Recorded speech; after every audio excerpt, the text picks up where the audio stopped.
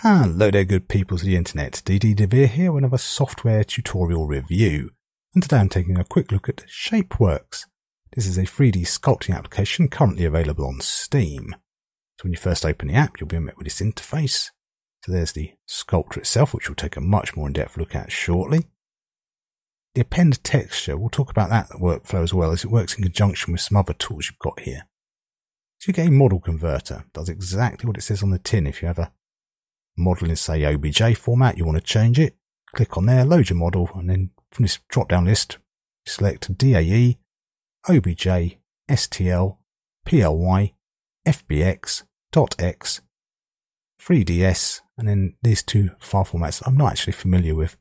So it's pretty much got you covered. It's got most of the usual file formats you'll need for 3D work depending on your application. And that will automatically convert it for you. Uh, model Optimizer. You click on that, load in your high res model, and it basically is an automatic decimator. It reduces the poly count to something a bit more manageable. And my experiences with it so far is it works as well as any of these automatic ones. And then finally you get a help file, and I probably don't have to explain what that does. So let's launch the Sculptor application itself, as this is undoubtedly the program most people are interested in, and by far and away its most powerful application. All right, so we're in app, in the sculptor itself. So this on your down the side here is to do with your brush and your brush settings. These are two further applications that we'll talk about later. And you've got your main things here, just your subdivision here. You could increase your resolution.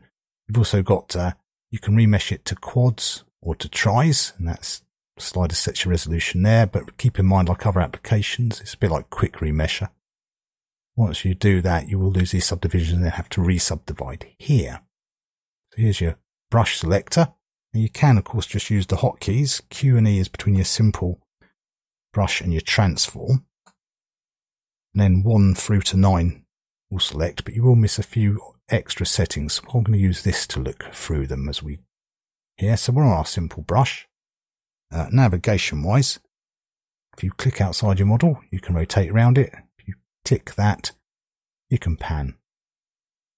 So all very simple. Uh, to change your brush size, you hold over the model, hold down C and scan left or right. Just move your mouse or your stylus left and right to change your brush size. See there, brush intensity, it's the same, just hold X, left and right, change your brush intensity. It's a simple brush, deceptively named, because we'll have a bit more of an in-depth look at this later. It's your basic clay build-up kind of type jobby. Oh, by the way, if you want to turn symmetry on and off, you just tick it there as well. And if you invert this brush, oh, of course it does the opposite. So our next brush, this is our displace brush. This is good for sort of bringing out these kind of spikes and whatnot. As you see there, you can also have it restricted by normals as well as add some warping to it. So that's, uh, that's how you do that one. Now the morph brush, this one's quite interesting. When using this stylus, if I do like little gentle sort of touches on my, on my tablet, see it just makes little gentle maneuvers. But if I then put a lot of pressure on, I can do large scale changes to my geometry.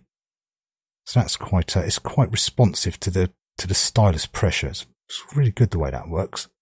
Obviously, if you are using a mouse, you, you won't have that effect for obvious reasons. And the next brush in line, the swell brush. This is obviously just your kind of inflate. So it's more rounded than the, than the simple brush, basically. And of course, if you invert it, it, um, de-inflates, I guess is the word. I'm not sure if that's a word or not.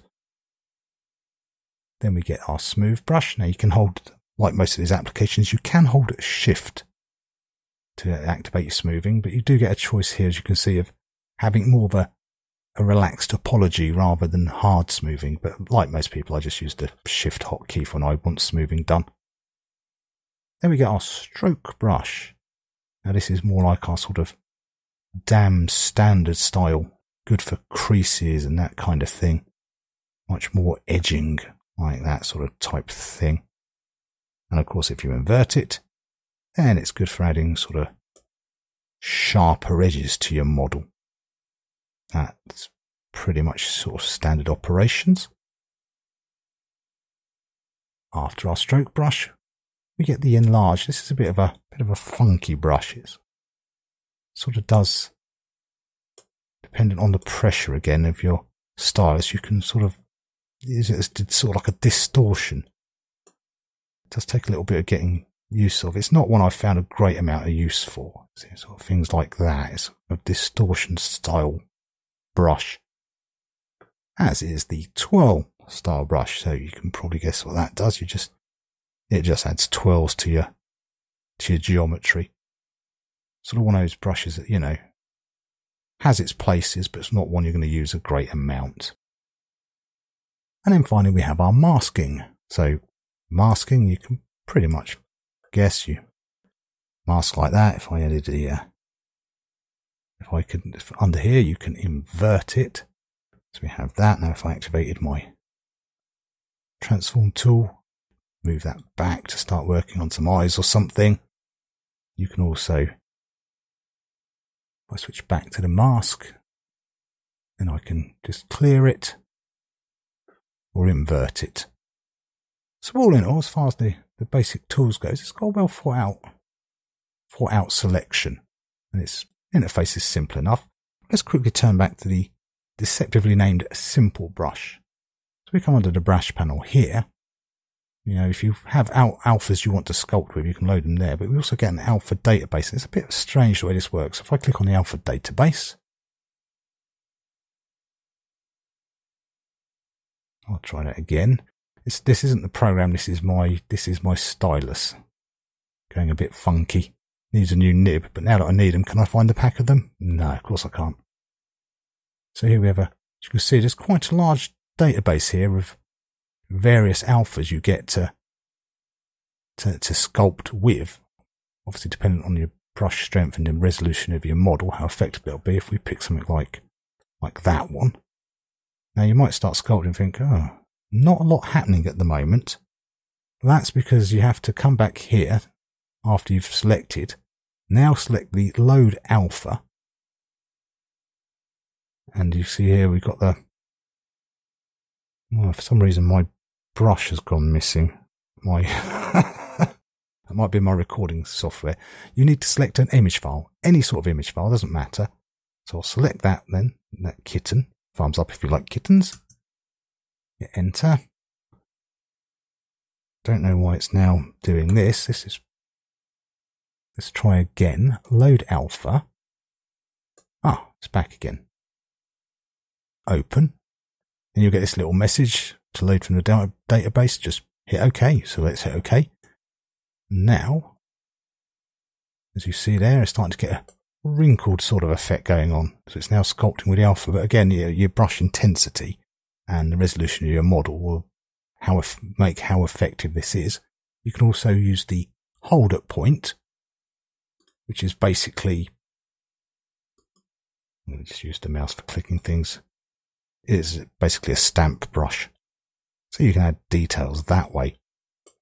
So there's a lot to like here in that respect. You've also got a few more things. We've covered the, the basics of the sculpting and your subdivision.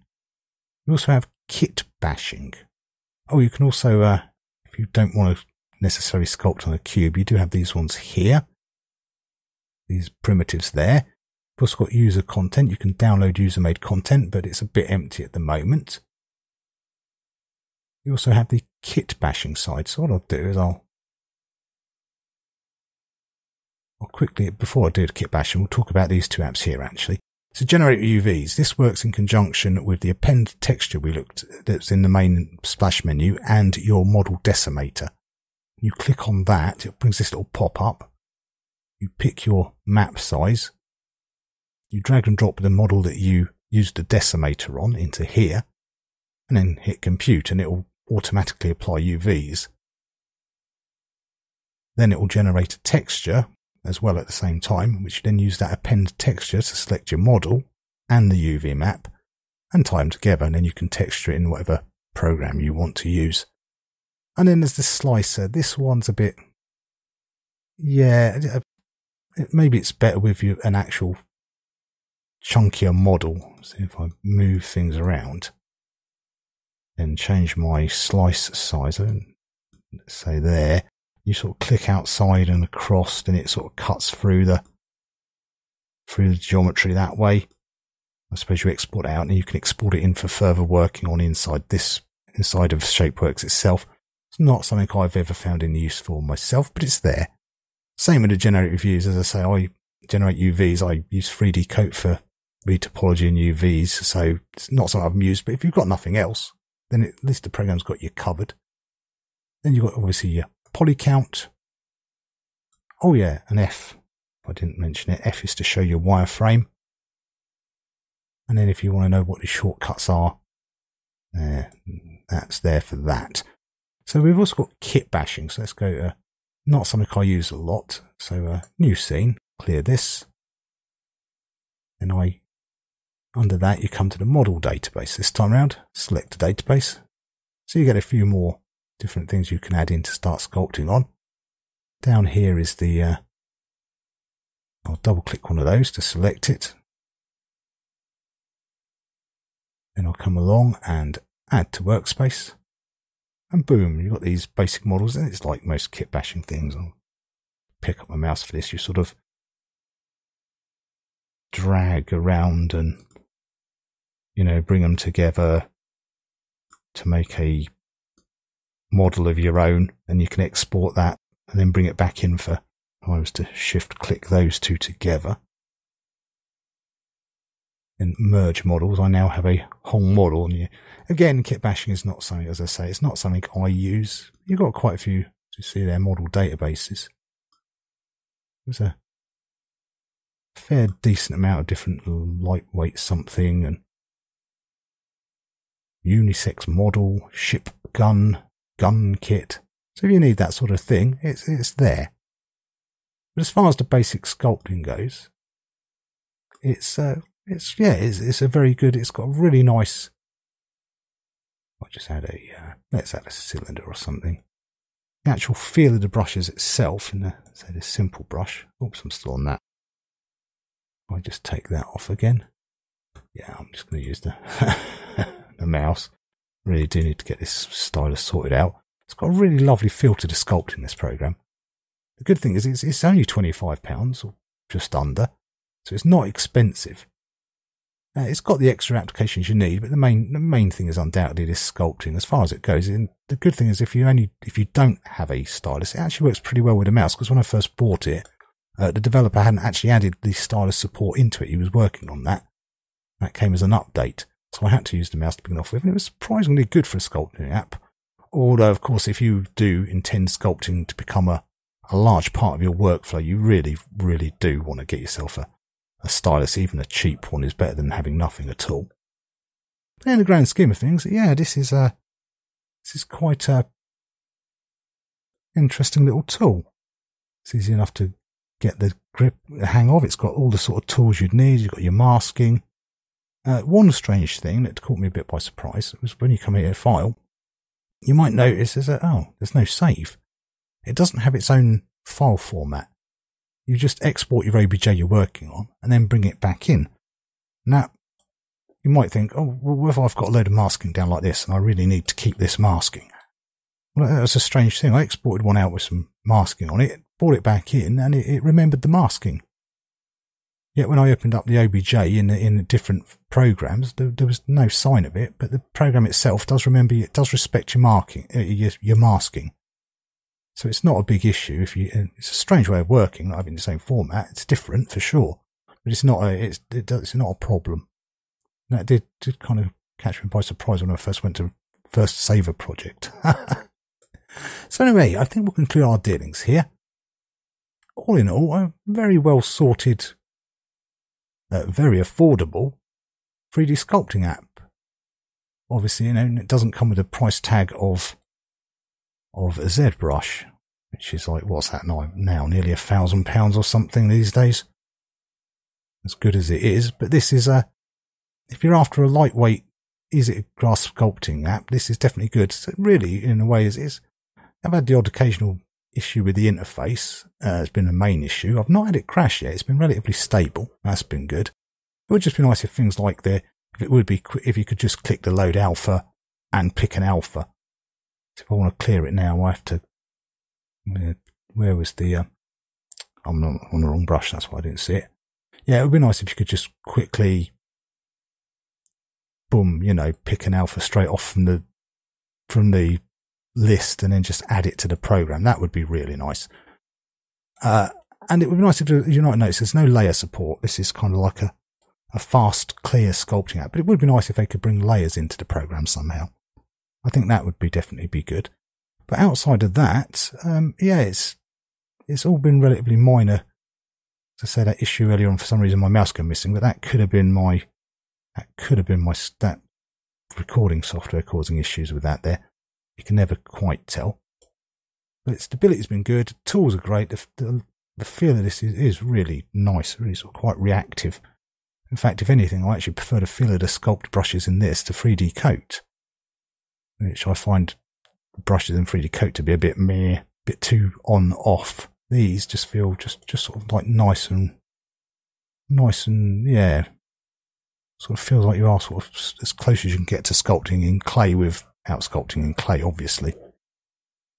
So all in all, I think, yeah, if you're after this sort of thing, this is definitely one for, especially for £25, that you should definitely uh, get on your radar.